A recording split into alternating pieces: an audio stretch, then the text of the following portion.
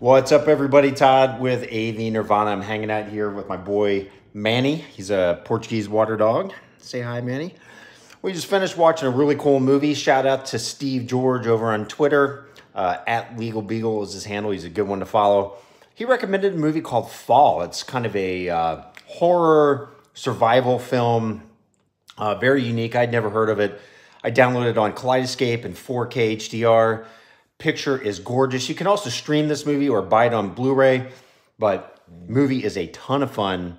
Uh, real sleeper for me. I did not expect it to be that good, uh, but uh, I really liked it. Sound design, spot on, and uh, the 4K on Kaleidescape was delicious. So if you haven't seen it, do your homework and watch it. We'll see you later.